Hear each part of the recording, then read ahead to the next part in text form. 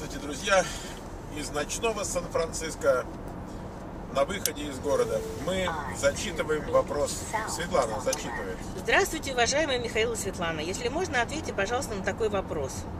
Мой сын 6 лет назад сказал мне на вопрос о том, кем он будет и как будет зарабатывать себе на жизнь, что будет играть в компьютерные игры. Тогда меня этот ответ рассмешил, и я попытался ему объяснить, что это невозможно. Но сейчас я понимаю, что это мне нужно было объяснить, что я не права, а не ему. Да. Когда я начала смотреть ваш канал, многое в моем мировоззрении перевернулось. После одного из ваших видео, около года назад, я нашла сыну репетитора по компьютеру. Сын решил, что хочет в будущем заниматься графикой по Xbox игр и подобным платформам. Я знаю, что это очень сложная, кропотливая, долгая и скучная работа. И ребенок до конца это не осознает. Он не зациклен именно на графике и открыт для многого в этом возрасте. Через пару дней ему исполнится 12. У него хороший возраст много желания идти этим путем. Но этот путь слишком широк, и нужно выбрать свою тропинку. Именно поэтому я хочу обратиться к вам, Михаил. Вы находитесь в самом эпицентре этой индустрии. Возможно, сможете подсказать, какая отрасль развивается и будет развиваться в ближайшие годы по максимуму. Куда стоит вкладывать свои способности, чтобы получить максимальную отдачу. Чтобы ребенок не пожалел, что посвятил э, этому свою жизнь. А, я понимаю, что вы не можете решать чужие судьбы, мы в любом случае сами за себя в ответе. Просто хочется услышать ваше компетентное мнение. Сын связывает свое будущее именно с Кремниевой долиной. Я рассказала ему про вас и вашу со Светланой школу, про то, что если ты хочешь заниматься компьютерными технологиями, то лучше места не сыскать. Спасибо вам большое. Буду очень признательна, если получу ответ. С уважением, Аня. Аня? Да. Ну, я хочу сказать, у меня такое ощущение, что Анин мальчик, он уже тут у нас. Это, я, я понимаю, что это наш мальчик. Это такой типичный гугловский такой крутой парнище, который вот в таком возрасте начинает. И, эм, значит, Анечка, существенным является не то, э, чтобы он сейчас сконцентрировался на какой-то области компьютерных технологий. Это, это абсолютно вторичный, третичный вопрос, потому что э, все, чем он будет заниматься в 12 лет, э, исчезнет Э, к тому моменту, когда он будет поступать в университет. Понимаете?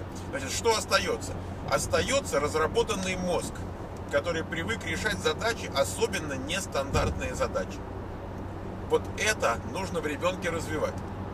Эм, я не знаю, насколько он эм, тяготеет именно к академическим дисциплинам, но я не знаю, где вы живете.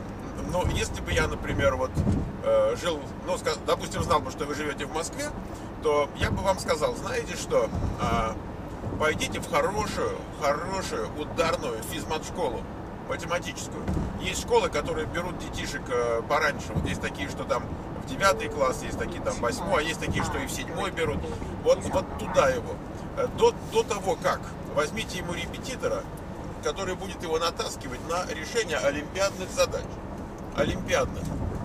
Э, с нестандартными какими-то вещами. Понимаете, сформировать у парня нестандартное мышление, креатив вот такой, это э, то, что даст ему э, успех в жизни, независимо от технологии, независимо ни от чего. Если вдруг он в какой-то момент э, от э, графики для Xbox значит, перейдет на, например, финансовые рынки, понимаете, он там все перевернет потому что у него нет тривиальное мышление. Вот так же, как Ломоносов говорил, это знаменитая его фраза, что математику уже зато учить следует, что она ум в порядок приводит.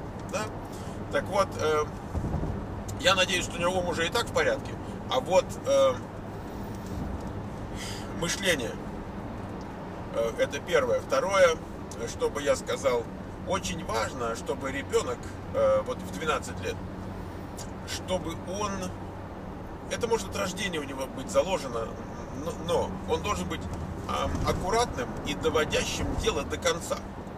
Гении, таланты, вундеркинды, которые не в состоянии довести дело до конца, никому не нужны в этой жизни. Понимаете, проблема какая? Посредственный человек, который аккуратненький, и у него все сходится, понимаете, он берет вот этих вот, нанимает и эксплуатирует, и, и, и за них деньги получает. Вот это нам, это наша полоса. Это наша полоса, хорошо. Вот, поэтому у меня такое видение, Свет, вот ты что скажешь? Что ты скажешь, Свет? А, я скажу, что, конечно, я даже читала, когда письмо, мне было немножко смешно, что вы хотите в 12 лет человека заточить под всю оставшуюся жизнь. На технологии. Э, Сегодня, Да. да. сегодня настолько все быстро меняется, что даже думать о том, чтобы можно было как-то заточить конкретно под эти игры или другие игры, Мгм. это неправильный подход, конечно. Нужно учить базовые вещи, и самое главное, чтобы ребенку это нравилось. Э, Да. Вы же видите, какие у него склонности, к чему у него склонности. Э, Может быть, у него склонности именно графики, да, может быть, ему рисование там интересно, компьютерная именно графика, может быть, ему интересны логические задачи и кодирование. Э, Вы лучше знаете своего Ну, ребенка. Ну, подожди, подожди. Она, она, может быть, знает ребенка лучше, но она не знает э, предметной области. А Дело не в этом. Но- дело но в том, что дело в том, что подожди секунду. Педагог. Дело ну, в том, что здесь есть одна ошибка, которую очень важно не совершить. Да, А, нам- проверь. Да. Значит, а ошибка это состоит в том, что а, вот э, у вас появилась какая-то мысль, да, и я вижу, что эта мысль вас занимает. Так вот, в этом месте я бы советовала вам расслабиться, да, и дать ребенку возможность осуществлять свои мечты. Неважно, что он ошибется, он выйдет на правильный путь, да, если у него есть интерес к этому делу, все у него будет правильно. А, Не пытайтесь ему навязывать что-то, потому что это он будет жить тогда вашими мечтами и будет стараться вам угодить. Это И- на всякий случай, потому что я, нет оснований считать, что мама ему навязывает. Ну да, просто, ну мама чтобы- так э, говорит, да, вот Ну, у нас ну, сказали, ну. что правильно, мы его будем затачивать вот под это Нет, вот. нет, нет. Я считаю, что мама очень правильно беспокоится. Мама говорит, если есть что-то, что я могу сделать, я хочу это сделать. Это совершенно, совершенно бесценная мама. И э, я как бы вот в этом смысле на ее стороне. Но, конечно, Светлана права в том, что если вам кто-то что-то сказал, это не повод ребенка заставить и отбить у него желание. Да. Понимаете? То, то есть на самом деле допускать. самое первое, вот что как родители, да, самое правильное, что родители могут сделать, посмотреть на то, чем ребенок интересуется и дать ему это. Вот д- дать ему возможность идти в этом направлении развиваться. То ли это будут кружки какие-то, то ли это будут секции какие-то, то ли что-то, но, но дать ему возможность в этом направлении идти. То есть, то есть на, на самом деле несущественно, будет ли он заниматься программированием или каким-то какой-то робототехникой, или э, какой-то автоматикой, там, электроникой, или он э, это будет связано с играми, э, или, или не связано с играми. Я лично не вижу ничего плохого в играх. Он может играть в игры, это тоже очень здорово. Он может кодировать игры, это тоже очень, это еще лучше, конечно. Но когда он вам в игры. 6 лет сказал, что, ну, конечно, кодировать лучше, да.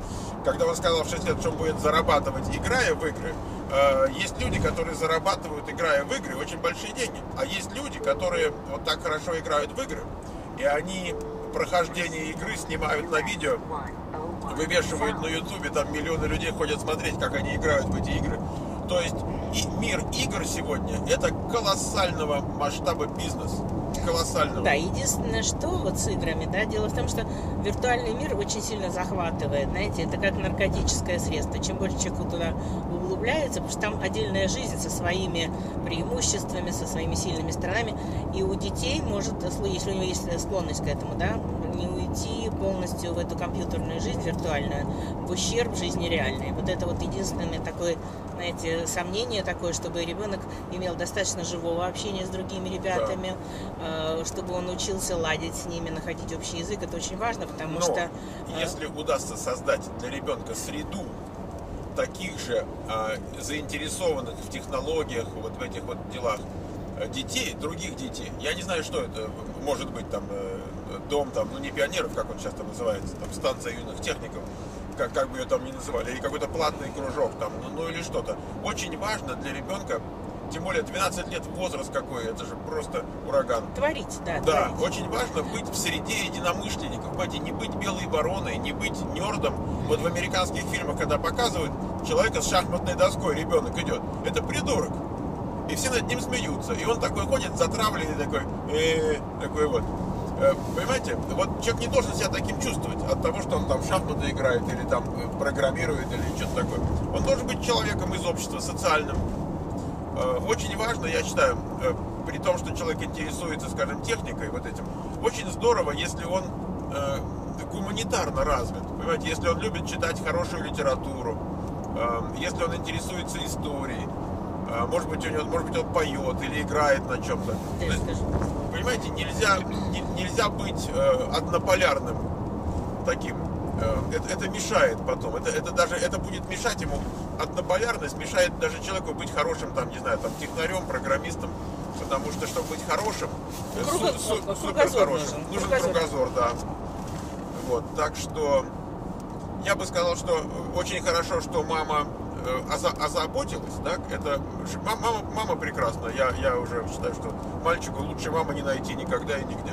Как, Значит, никогда не найти лучшего. Вот, теперь, да, ну это я не к тому, что люди ищут, но просто я говорю, мама хорошая. И очень правильная мама. И, и, значит, надо, чтобы она фокус сни- с, эм, перевела с того, какими технологиями мальчика занимать сегодня, потому что это не имеет значения для будущего. Эм, А, а вот занялась бы его кре- креативностью э, и нестандартностью мышления. Вот какие есть методики, я не знаю, что там для этого есть, какие условия там, где она живет, я тоже не знаю. Но вот искать в этом направлении, а не в том, какие технологии, какие языки программирования, какие там чего будут. Вот он пускай создает. Подрастет немножко, будет ему там 18-19 лет. Вот пусть он уже тогда создает там технологии будущего и, и так далее. Вот вполне, вполне ему по силам будет. Так что я, я бы так сказал. Все, маме, маме привет, мальчику привет. И мы теперь будем ждать от него вот э, про- прорывных технологий по мере взросления. Счастливо.